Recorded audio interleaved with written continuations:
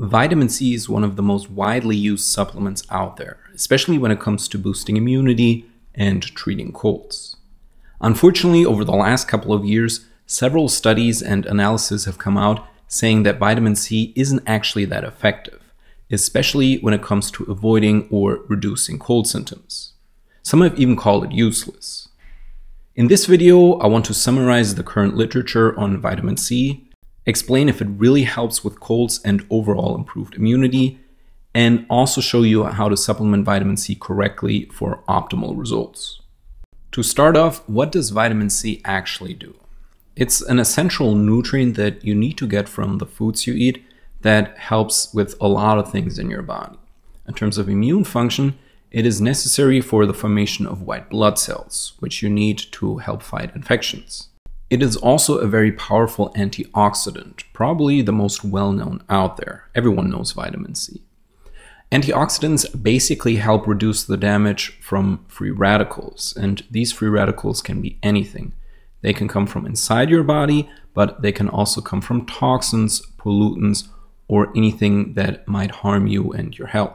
Because of these reasons, for a long time, vitamin C was the go to supplement for many sick people, usually those that had a cold or flu or any type of infection, both bacterial or viral. But in recent years, more and more studies have come out that question the effectiveness of vitamin C in regards to immunity, especially when it comes to colds. Some have concluded that it's less effective than previously thought, and others have even called it useless. Let me now summarize the current scientific literature on vitamin C to explain why this is the case. There are many individual studies on vitamin C, but the most important are two meta analyses from 2013 and 2018.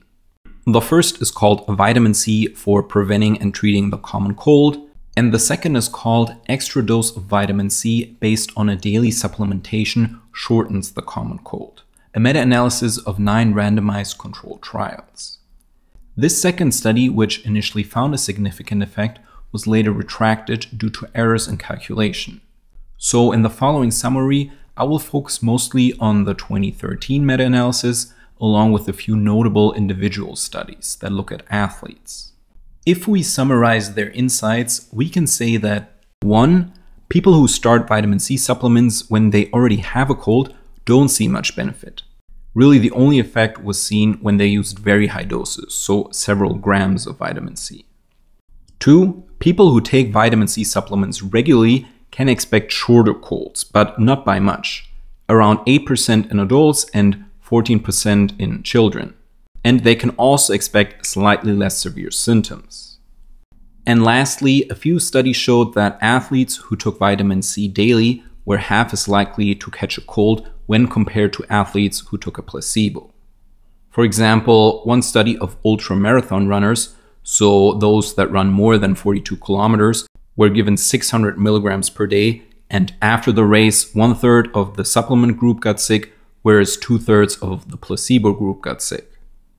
Based on these studies, the conclusion was that vitamin C supplements can sometimes shorten the duration of colds, but they don't seem to prevent them unless you are an athlete under acute stress, for example, from the ultramarathon race that I just mentioned. This then led to many journalists and websites saying that vitamin C is overrated and useless. But is this true? Should we really draw that conclusion and should we throw out our vitamin C supplements? I would say no. Let me explain why. The problem with vitamin studies is that they often look at isolated nutrients, in this case vitamin C, to test a certain hypothesis, in this case the reduction of cold symptoms. And the symptom reduction is also used as a proxy to gauge vitamin C's immune boosting effects.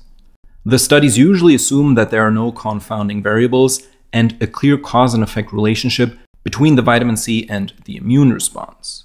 They have to to get a yes or no answer to the hypothesis being tested. The results are then the average of the participants' outcomes. That means outliers are usually averaged out and you look at what you're left with. This also has to be done to make studies more feasible and to ensure comparability of results. In theory, this is fine, but in practice, you lose a lot of nuance and all the context. This is a problem that almost all nutrition studies face.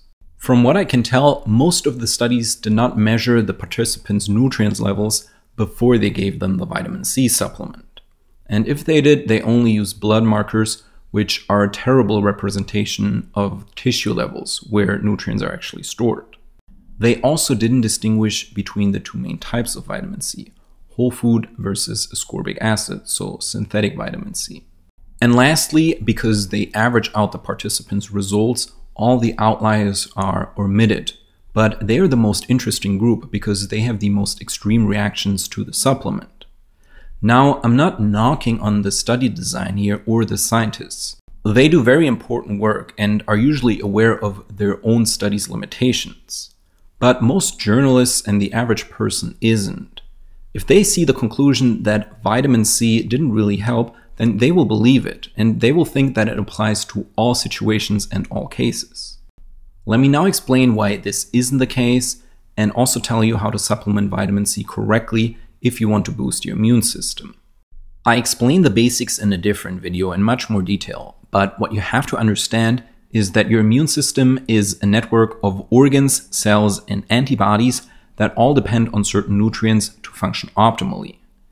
And these nutrients need to be balanced and work together for best results.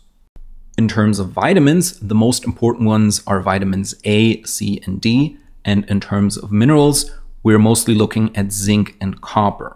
Now, even though nutrient status is always highly individual and I don't like to make general statements, most people, so maybe 70 to 80%, will be low in vitamin C, vitamin D, and zinc. And they also have too much biounavailable copper, so it sits in the tissue and cannot be used properly by the body. Vegetarians and vegans also have a higher risk of being low in vitamin A, which is primarily found in animal products. Beta carotene from plants doesn't count here because it's a vitamin precursor, so it first has to be converted into bioactive vitamin A in the body, and this conversion doesn't work right in everyone. Also keep in mind that we're often talking about subclinical deficiencies here. So they might not show up on a blood test, but will on a more specific test like a hair analysis. If you want to evaluate the effectiveness of vitamin C for your immune system, you have to see it in the context of these nutrients. You have to understand how they affect each other and how they work together. In someone with a lot of unbound copper, so a lot of biounavailable copper, vitamin C will be beneficial because it lowers copper in the body. Whole food vitamin C also helps produce ceruloplasmin, which is the primary copper binding protein. Once the copper is bioavailable again and the excess unbound copper has been eliminated, your immune system will be much more effective. Because not only can it now use copper to fight off viruses and bacteria, you will also no longer be copper dominant, which means the zinc in your body will no longer be suppressed. Zinc is crucial for a well-functioning immune system. If, however, you're not copper dominant before taking a supplement, but you're copper deficient, and then you're given a high dose vitamin C supplement, it will probably backfire because it will further lower your copper status. This applies especially to isolated vitamin C, so ascorbic acid, and not so much to low dose whole food vitamin C supplements but ascorbic acid is still the most widely available vitamin C supplement. Another situation where giving someone vitamin C would backfire is when they have high adrenal function. Your adrenal glands are one of the organs with the highest concentration of vitamin C in them, and they really rely on vitamin C for optimal functioning. If you give vitamin C to someone whose adrenals are already working overtime and who's already very stressed, it can overstimulate that person. They will feel giddy, unwell, and anxious. What that means is that the effectiveness of vitamin C and also the right dosage always depends on the context and who you're working with. General statements like it's super useful or it's always useless don't really mean anything without knowing the person. I hope this helped you understand how complex the topic of vitamin C supplementation really is, and also how studies even when they're done right, can be misleading. To wrap up this video, I now want to give you a practical guide on short-term supplementation for your immune system. Like I said before, the most important nutrients here are vitamins A, C, and D, as well as zinc and copper. For long term supplementation, so taking something longer than a couple of days, please always get your nutrient levels tested. But assuming you only supplement for a few days and want to acutely improve your immune response, you can do the following. Increase your vitamin A and D intake, preferably through natural sources such as cod liver oil. I explain what to look for in a quality cod liver oil in a different video. In terms of vitamin C, I recommend whole food supplements like acerola extract. You can buy all these vitamins in their synthetic versions, so ascorbic acid for vitamin C, retinol palmitate or retinol acetate for vitamin A, and cholecalciferol for vitamin D. They will be cheaper and higher dosed, but you also have to be more careful because they also come with nutrient interactions that many people aren't aware of. I have a video on how to take each of these vitamins correctly, so make sure to check it out if you're interested. And lastly, in terms of zinc and copper, you can go with a low dose zinc supplement and should be careful with copper supplements. That's because for copper to be effective in your immune response, it needs to be bioavailable and bound to a carrier protein. Many people already have too much biounavailable copper in their tissue, and a copper supplement can potentially add to that overload. If you suspect to be copper toxic, please watch my video on it to understand this dichotomy. Also, if you get side effects from any of the supplements I just mentioned, please reach out to a professional. These are just suggestions and everyone has a different tolerance to supplements. That's basically it. I hope you liked this video and I see you in the next one.